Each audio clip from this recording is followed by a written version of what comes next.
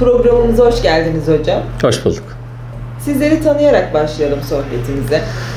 Ben Doktor Tuna Kenar, 1975 Afyon doğumluyum. İlk ve orta öğrenimi Afyon'da tamamladıktan sonra Eskişehir Tıp Fakültesinden 99 yılında mezun oldum. 2000-2003 yıllar arasında Eskişehir'de fizyoloji ihtisası yaptım. Ee, ardından 2003-2008 yılları arasında Afyon Kocatepe Üniversitesi'nde kulak burun boğaz ihtisasımı tamamladım. Ee, daha sonra 2008-2012 yılları arasında Buldan Devlet Hastanesi'nde kulak burun boğaz uzmanı olarak çalıştım. Ee, orada da ilçenin ilk e, kulak burun boğaz uzmanı olduğum için e, güzel hizmetlerimiz oldu. Daha sonra akademik kariyerimi devam ettirmek istediğim için e, üniversiteye geçtim. Pamukkale Üniversitesi'nde kulak burun boğaz anabilim dalında 4 yıl yardım doçent olarak çalıştım. Bu süreçte 2014 yılında da odyoloji yüksek lisans yaptım Ankara Yıldırım Beyazıt Üniversitesi'nde. Son bir buçuk iki yıldır da özel sektörde e, mesleğimi sürdürmekteyim. Devam ettiriyorsunuz. Hocam kulak burun boğazla ilgili tüm alanlara bakıyorsunuz. Kulak cerrahlığını herkes yapmıyor ama siz yapıyorsunuz. Bu konuyla ilgili neler söylemek istersiniz? Kulak cerrahisi bizim branşın yani en zor alanlarından biri diyeyim. Ee, çünkü bir ekip işi gerektiriyor. Artı çok uzun e, vakit alıyor. Hem tanısı, tedavisi, pansumanı. O yüzden e, çoğu arkadaşımız hem çalışma şartlarının yoğunluğundan dolayı e, uzmanlıktan sonra, e, ihtisastan sonra kulak cerrahisiyle çok ilgilenemiyor.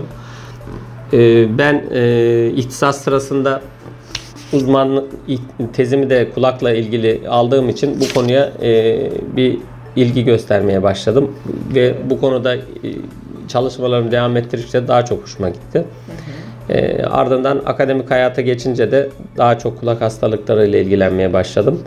E, bir de Denizli'de ilk mecburi hizmette Buldan Devlet Hastanesi'nde çalışırken işitme kayıpları, uğultu, çınlama da çoktu. O da Evet. bu işi biraz daha hızlandırdı belki. Ee, acaba ne yapabilirim diye özellikle çınlama ile ilgili bir takım çalışmalarımızı da yaptık. Ee, son dönemde özel sektöre geçince özellikle e, çınlama hastaları için mesela TMS diye bir cihaz edindik. E, Denizli'de bunu ilk defa e, hizmete soktuk. Çınlama ile ilgili e, TMS tedavisi ülkemizde 4-5 merkezde yapılıyor. Ben de Denizli ve etrafındaki illere bu hizmeti vermekteyim. Yurt dışından da çok hastamız geliyor. Çınlama da ayrı bir olay. Evet. Peki hocam çınlama konusuna değinmişken neyden dolayı kaynaklanıyor bu çınlama sebebi nedir? Çınlamanın sebebi olarak e, yani kulakla ilgili hastalıklardan tut da beyinle ilgili e, ha- hatta boyun düzleşmesine kadar e, birçok sebebi var.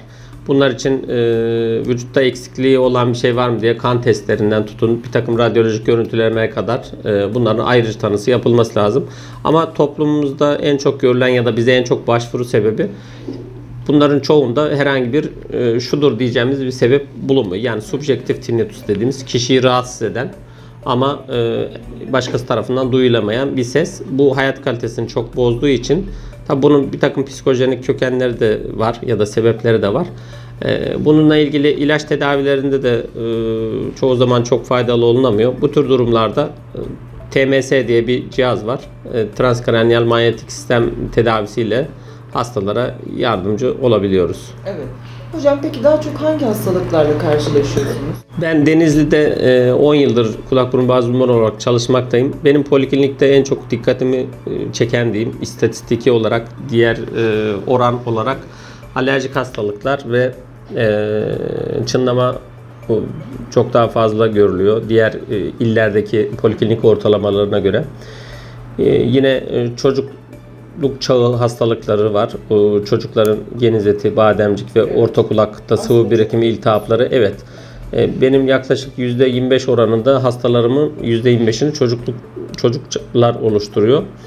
E, Onların da hem tıbbi tedavisini gerekirse de cerrahi tedavisini genizeti, bademcik, tüp takma ameliyatı gibi ya da boyunda doğuştan olan kitleler gibi bir takım ameliyatlarını da yapıyoruz. Alerji konusunda ben şöyle gözlemlediğimi düşünüyorum. Ee, hem Buldan'da hem Denizli'de yaptığım gözlemlerde. E, Denizli'nin toprak ve bitki örtüsü çok alerjik bir yapıya sahip. Bunu İl Tarım Müdürlüğü'nden edindiğim evraklardan ve bilgilerden doğruladım. E, bir de Denizli bir tekstil memleketi. E, büyük tekstil fabrikalarından tutun ilçelerde her evde neredeyse fason üretimde olduğu için sürekli bir toz ve tekstil e, ile temas söz konusu olduğu için e, burun alerjisi dediğimiz alerjik rinit çok fazla. O da hayat kalitesini oldukça etkiliyor. Burun tıkanıklığı, hapşırık, kaşıntı onların da dönem dönem e, tedavilerini yapmak lazım. Yaptığım gözlemsel ve bilimsel çalışmalarda e, alerji testleriyle birlikte hepsini değerlendirdiğimizde en çok e, 15 Mart, 15 Nisan, 15 Mayıs ilkbaharda, sonbaharda da 15 Eylül-15 Ekim döneminde e, bu işin çok arttığını gördüğüm için mevsimsel alerjik rinit dediğimiz hasta grubu ki en çok olan gruptur alerjik rinitler açısından. Hastalarımıza o dönemde e, burun fısfısı spreyi, burun spreyi ve e, haplar vererek şikayetlerini azaltıp rahatlatmaya çalışıyoruz. Evet. Hocam vermiş olduğunuz bu değerli bilgiler ve bu güzel sohbet için size teşekkür ederim. Ben de teşekkür ederim. Sağlıklı günler dilerim. Rica ederiz. Teşekkürler. Yardımcı doçent doktor Tuna Kenar'la keyifli sohbetin sonuna geldik. Programımız kaldığı yerden devam ediyor. Hoşçakalın.